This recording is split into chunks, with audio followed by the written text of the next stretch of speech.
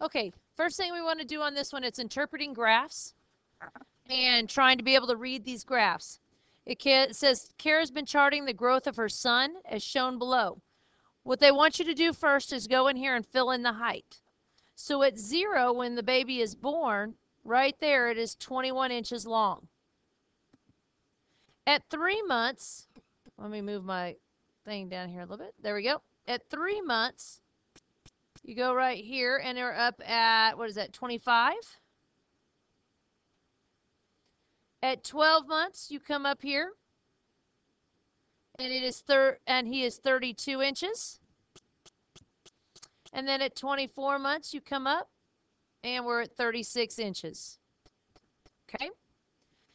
Now, I'd like you to look right here and I want you to label X and Y. Okay? I want you to remember that domain, I want you to circle domain and I want you to put an X right there. So on the X axis, it says age. So if you look at your answer choices, A and C both say height. Those are not the right answers. Now B and D, which one of them is right there? Starting here, we start at zero. Well, both of them start to zero. Well, where does my data end at? At 24. So your answer is D. On the next one, it says which is the which of the following is the correct range? Circle range and let's put y above it. The range is the y. So if I go up here and I look at my range, where does my data start at? Not at 0. That's that's what I want to make sure everybody gets correct here. We where does the data start? The data starts right here at 21. And what, so if I look at my answer choices, starting at 21, these two start at 21. What if I, why would G not be the right answer? Right, the data ends at 36 right here. So your, your um, range is going to be from 21 to 36. Now, it says how much did he grow in the first three months? Let's look up at the table. How much did he grow right here in the first three months? Four. Take 25 minus 1, or 25 minus 21, and that's 4. So he grew 4 inches. Okay. What about in the second year of life from 12 to 24? How do you get from 32 to 36? Plus 4. In which section did he grow faster? 0 to 3 or 12 to 24? He grew the same, but what if I said, what about the rate of the growth? Why would it be 0 to 3? The line is steeper. It's a shorter amount of time, right, that they grew the same amount. See, and the steeper the line means the faster it's going. So right here, let's see. That was four inches. And it said in which months did he grow most rapidly? And this is where we're going to say from zero to three months.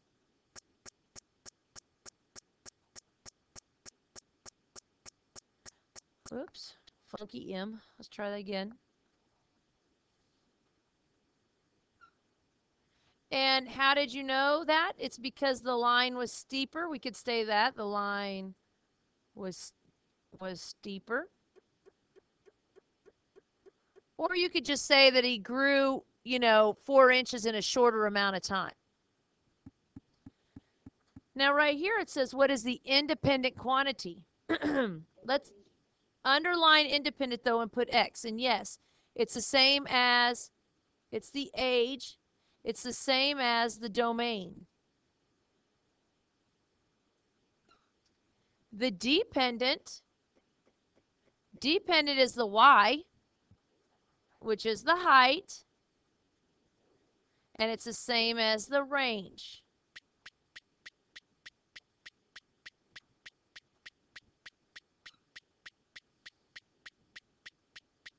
Let's look at this next problem.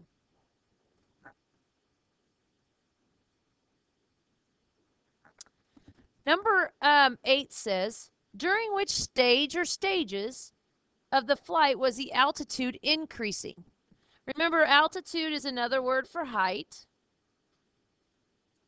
So during which stages was it increasing? What's happening? Well, actually, let's go back and read what the problem's saying. It says that a bird is sitting in a tree and flies away, then returns to his tree. His altitude over time is graphed. Let me ask, this is not starting at zero. What what's going on? What does this mean? He started in a tree. How tall was the tree? Or how tall, how far up in the tree from the ground was he? 10 feet. So what did the bird first do? He started on the tree. He flew up in the sky. What's happening here? He could have stopped in a tree. Could have slept. Ah, uh, couldn't he be gliding? Right? Can't you be because he's at the same height for that amount of time, right?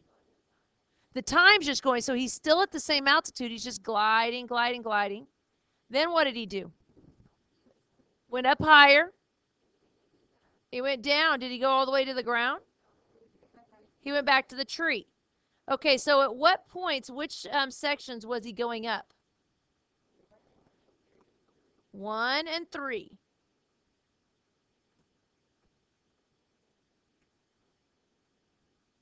During which stages of his flight was he decreasing? Yeah, four because you're going down.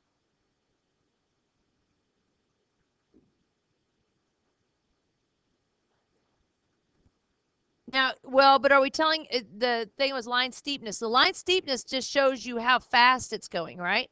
How did you tell if the line was increasing? Yeah, if it's increasing, the line was going up.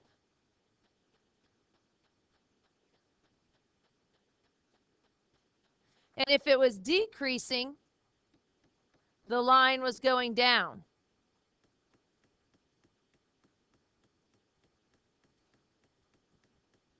Okay? And then we kind of talked about it, but what's happening in stage two? Stage two is right here. He's, regardless if he's on a tree or gliding, he's staying at the same height, right? So I would write here, he's staying at the same height.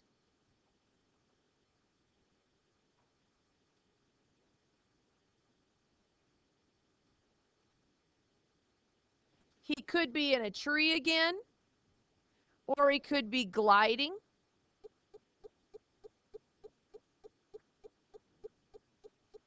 Now, the next two questions asks us about domain and range. Circle domain, what letter is the domain? X. So let's look at the domain. Here is X, here is Y.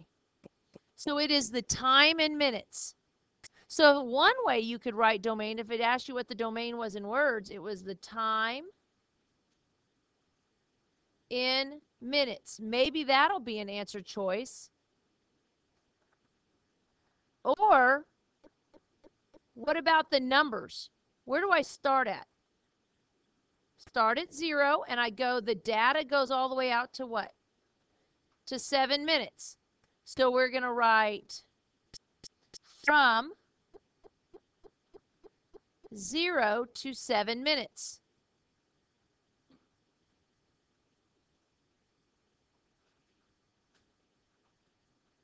Now, what about the range?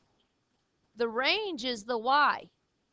Be careful where you're starting right there at the range. Where does the range start at? At 10 because that's where it started in the tree. So with the range, if we look here what we're starting with, we're going to start here at 10 where the bird's at, and we're going to go all the way. The data goes all the way up here to 100. So we've got, first off, it's altitude in feet. So the range is altitude. And we could write from 10 to 100 feet. During which stage is the change in the altitude most rapid? So if we want to know if it's most rapid, we want to know which is the steepest. So if I look up here, which line is the steepest? In this one, I go from 10 to 70. So that's, so in stage one, I go up 60 and over in two minutes, which is 30. Stage two, it's staying the same. I'm not going fast there. What about stage three? Well, I'm going up from 70 to 100, so I'm going up 30 and over one minute. So that's 30. They're the same. Let's see about 4. 4, I'm at 100. I'm going all the way down to 10. So that's 90 in 2 minutes, which is 45. So even though the line is decreasing, I'm still doing it quickly. So it would be stage 4. Whoops.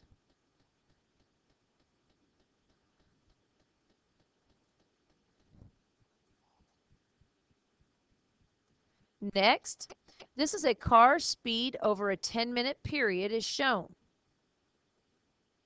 Okay, first off, let's let's label, well, let's see if I can move this over on this thing a little bit. There we go.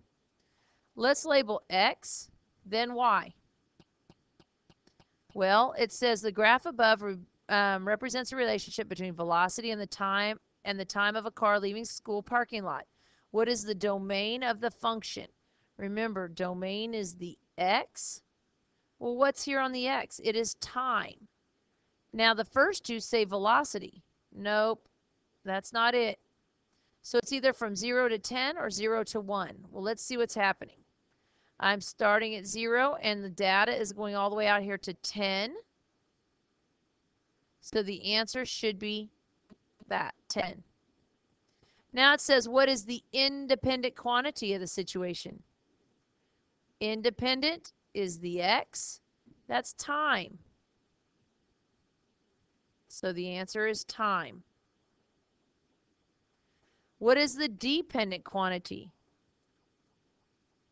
Dependent is the y.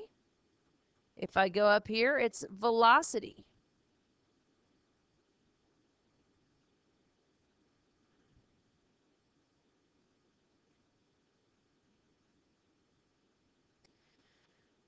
Choose the graph below to best represents each situation. Oh, gee, this is kind of hard to, let's see if I can make it so we can see it.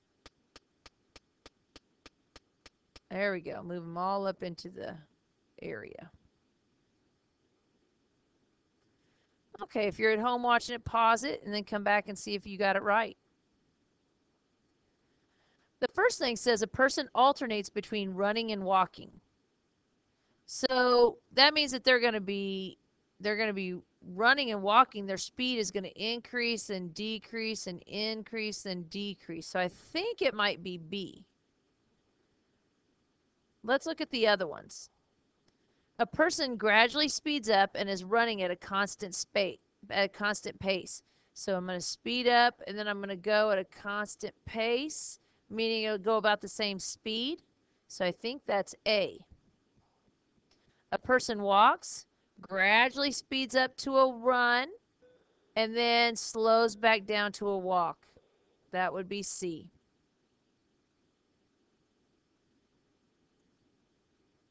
Let's see, did I get all that? Yep. Here's the next one. Okay, so let's start here on number one. Kelly receives a $25 gift card from Blockbuster for her birthday. Each movie that she rents is costs $3.75. Which equation best represents the amount A left on Kelly's gift card after renting a certain number of movies? Okay, well, what do you start with? You're starting with the $25 gift card. Every time you rent it, you're subtracting off $3.75 per movie.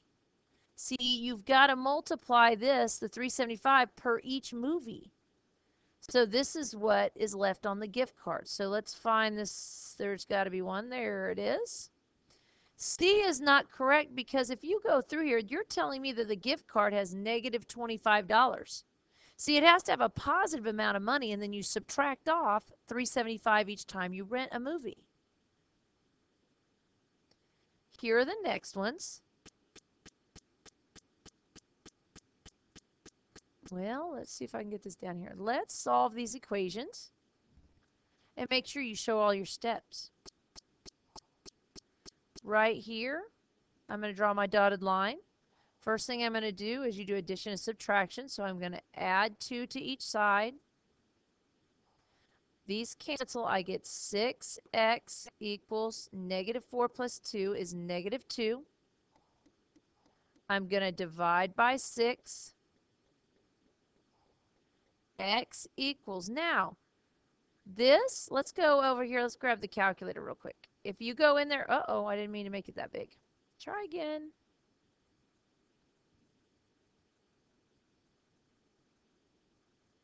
Okay, so I'm going to put in there negative 2 divide by 6 and press enter. It gives me a decimal, but what it's telling me is leave my non-integer answers as fractions. Integers are whole numbers. So I'm going to press math, enter, enter, and my answer is negative one third. Maybe you need to make note on your paper that integers mean whole numbers.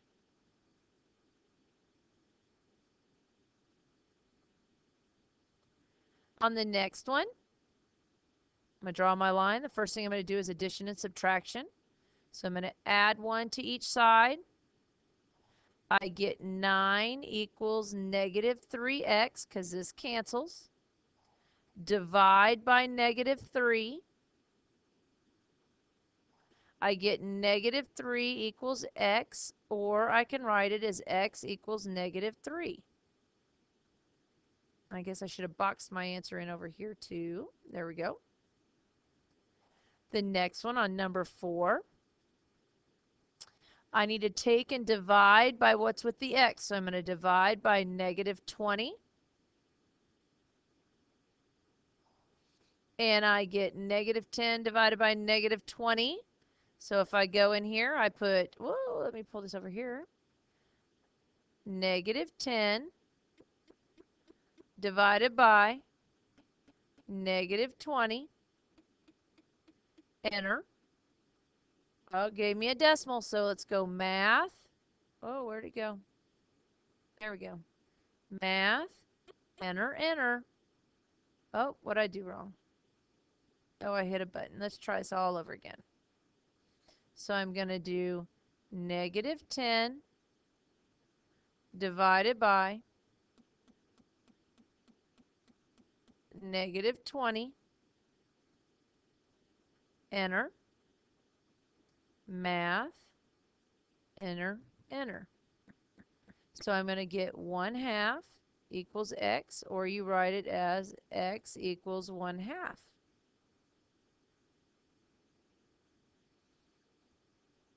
The next one. A house cleaning service charges $25 per hour plus an additional $10 service fee. What would be the independent quantity? Independent is your X. It's the thing that has, has to happen first. Well, let's write the equation. I've got $25 per hour plus $10. This is the total cost out of this right here, what is the independent? It's going to be the number of hours.